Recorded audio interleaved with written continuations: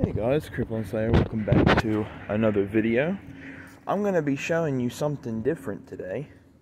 I'm going to go back here and actually show you something that happened and I didn't actually know about it until, well, I was shown today. A guy named Larry showed me this and it fell over a week ago and you're probably knowing of what it is. It's actually a tree. So let me show you. I'm going to show you the heart and soul of where this tree was. And I'm going to take some photos of it.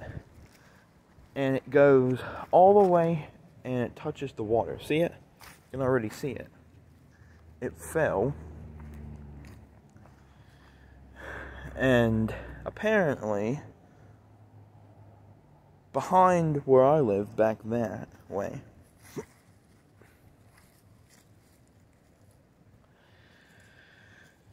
um, there's a tree that fell, he told me. And I said, okay. Because I was going to the mailbox. And he said, hey, how you doing? That's a pretty good. He said, did, did you hear about that tree that fell? I said, what tree? He said, come here, I'll show you. So we walked down this way, past the, the whale toy, onto here, and came up here. So and we landed.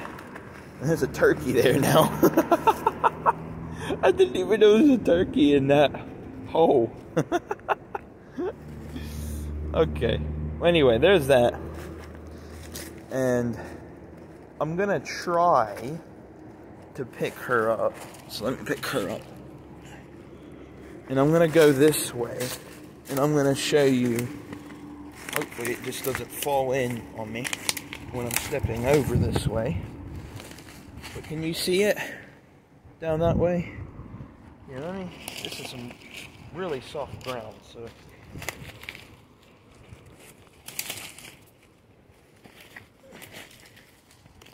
Wow, it's really soft ground. See? There's the roots of it all. There's the heart and very soul with the turkey in it. So, yeah. Anyway, I'm going to take some pictures. I'll catch you guys later. Creep out.